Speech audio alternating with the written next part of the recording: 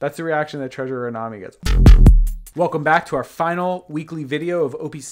This is video six of six of set six of my favorite number of the One Piece card game. So hopefully there's something really cool in these boxes.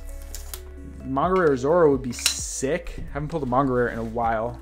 So I'm really hoping, I'm really hoping for it. If we pull a Treasure Rare Nami, I'll just say I won't be mad about it, but I also probably won't be that happy about it. Bless them. Um, but yeah, we know that one of these boxes is going to have an alt art and a secret, and one box is going to have two alt arts. That is guaranteed at this point because we've broken through enough of this case. The first case, we noticed a trend that all the top boxes just had two hits, and each of the top boxes was either one alt art and one secret, or two alt arts. There were two boxes that had two alt arts, and there were four boxes that had one alt art and one secret. Um, and then the bottom boxes all either have a alt art leader. Oh! It's Treasurer Nami. That's the reaction. That's the reaction that Treasurer Nami gets. Oh! Hmm. Uh, you know, I think it's like maybe like her eyes are just a little too wide apart and she doesn't have a wrist. You know, her arm just kind of goes like just like right into her hand. This is cool. The texture's really cool. It's got beautiful texture on it. It's a really beautifully textured card. Um, but her, yeah, you know, like her, this part of her arm's the same size as her forearm, and maybe her eyes are a little too wide apart or something. Her nose doesn't really have a nose. There's something going on. You know, you look at somebody's face immediately, and but but even when you start looking outside of her face in this card, you know you might notice there's you know, there's some other stuff stuff going on. Anyway, if um yeah, I would have I probably would have had a more wild reaction to Azora. Um, that was more like surprised. The Japanese word for, surprise is bikkuri. I would call that bikkuri nami more than treasure nami because she's surprising. You know, you pull her out of a pack and you're like, whoa. You know what I mean? Like that. It's not as much like, for me at least, it's not as much of a, oh my god, freaking out. I have, I'm having a public Shripham freak out, which happens to me. There have been many of them documented on the JOHKU DMD YouTube channel. You can go back in the history of the of my show here and see um, many documented public freakouts that I've had about Shripham reactions. Um, but you know, Treasure Nami, I, I wouldn't say that she's one of them. But we can confirm that Treasure Nami came from a top box. I would say it's most likely that there will be a secret in this box.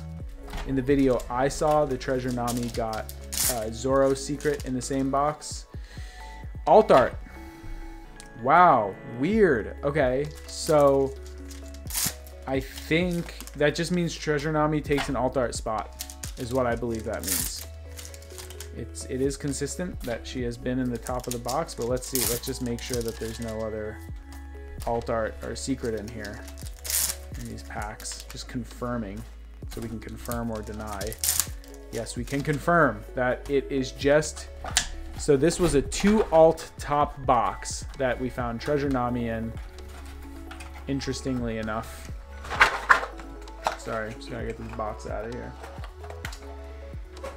And then we have one last box in this case. So that means that this box that's left is going to be one alt art and one secret. That's what's to be inside of here.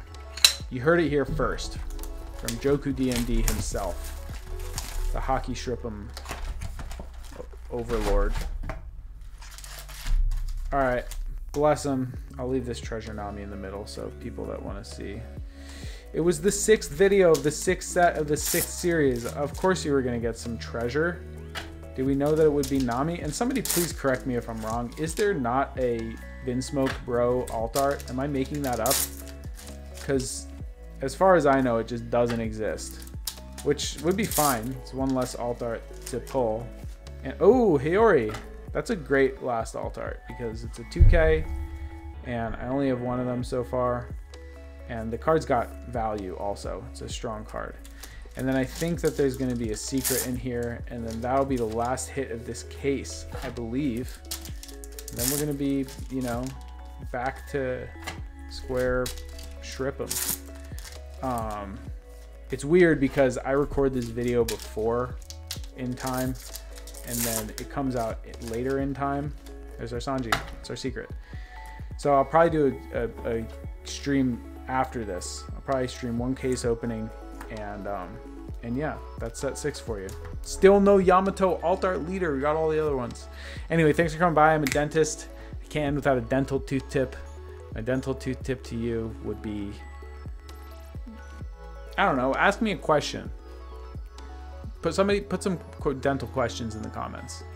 And, and I'll meditate on them and uh, next season's Shriphams I'll I'll check them out. But I got to give a tip because I always give a tip. So my tip would be uh, don't, don't let teeth get to the point where they need a root canal.